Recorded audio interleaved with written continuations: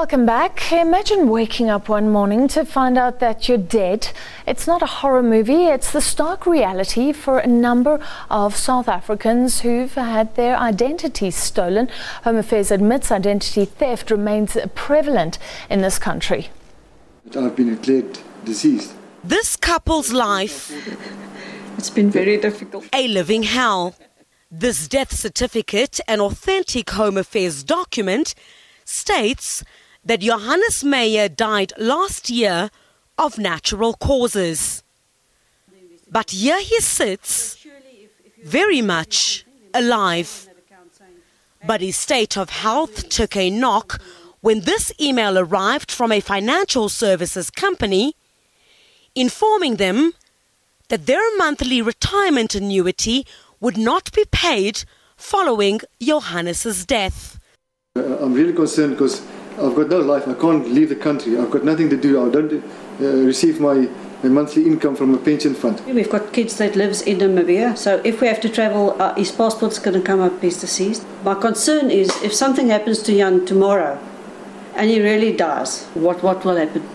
It's, it's going to be a nightmare to try and prove that he only died now. The Meyers believe they've fallen victim to a scam. Identity theft has been a thorn in the side of the Department of Home Affairs. Well, it's also costing the economy about 2 billion rand annually. But the department claims that its counter corruption unit has dealt a significant blow to fraud and corruption.